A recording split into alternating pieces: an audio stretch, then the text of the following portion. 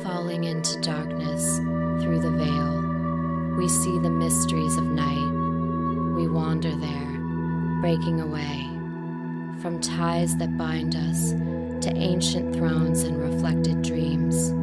We shatter innocence into the emptiness of time unwritten. We pull reparations from the bleeding earth